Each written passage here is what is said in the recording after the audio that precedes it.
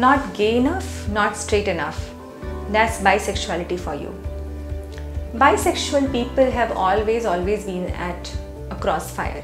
They were never completely accepted by the cis heterosexual community or the LGBTQ plus community because uh, it is thought that bisexual people have got straight passing privileges.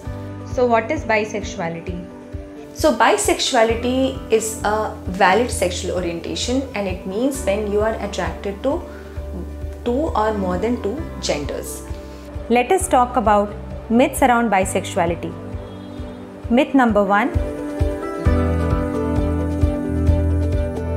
Now, a lot of people feel that, especially in the LGBTQ plus community, that people in the bi are trying to uh, really leverage their rights of you know dating a heterosexual person and at the same time being a bi.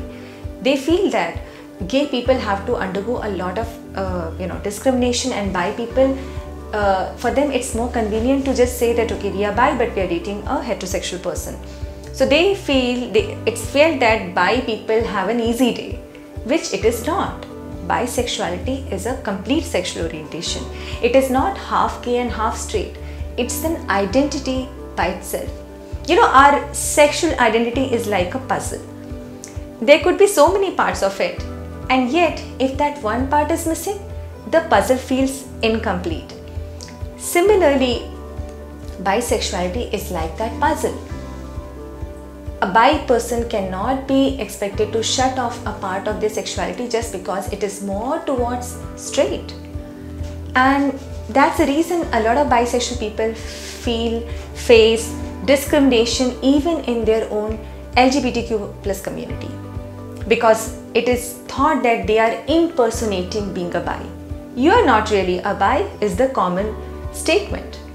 Even in the friends and family, the sexuality is not seen as a you know valid sexual orientation. Myth number two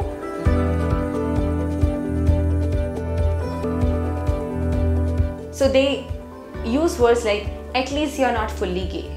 At least you, someday you can be a complete heterosexual. I just hope that you marry a heterosexual, like you know, a, a member of opposite sex. You are not completely bi. Bisexual people face a lot of discrimination like this. Even when they are dating people from LGBTQ plus community, it is said that these bisexual people will not be loyal. Myth number three.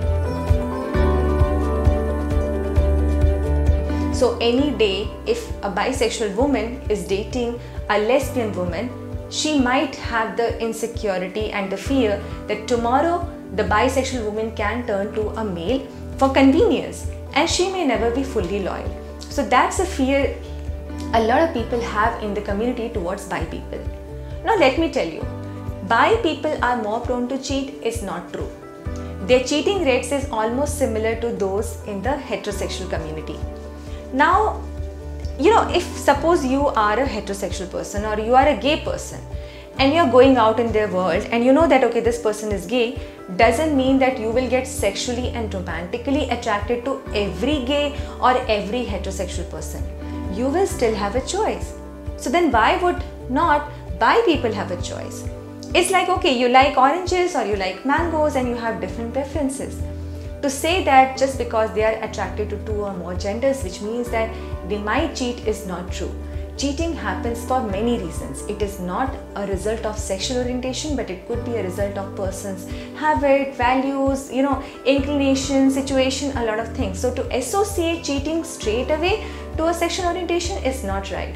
Let's spare the bi people because they are equally normal, equally lovable, and equal valid sexual orientation we need more acceptability for bi people.